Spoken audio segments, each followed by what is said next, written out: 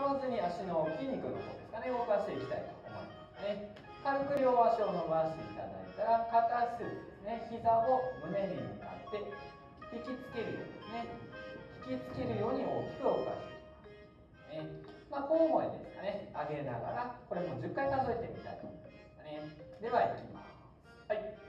1 2 3 4 5 6 7 8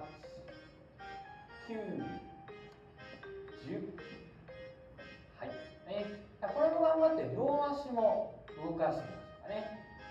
足が少しでも床から上がっていればしっかり筋肉が動いていますので余裕があるなっていう方はなるべく大きくですね動かしてみてください。では10回数えます。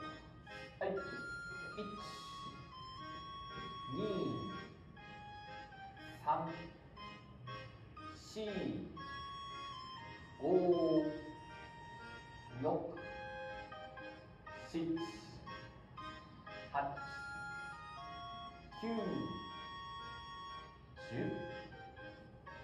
これは少しきついと思います本当に無理なんですかね動かしていきますね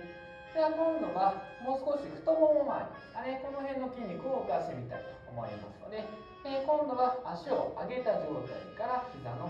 げ伸ばしですねどうしてもきついよって方は片足ずですね片足ずやってみてください、まあ、10回数えますので片足の方は5回ね5回動かしたら反対の足も同じく5回動かしてあげていける方は両足で10回ですかね数えていきたいと思いますね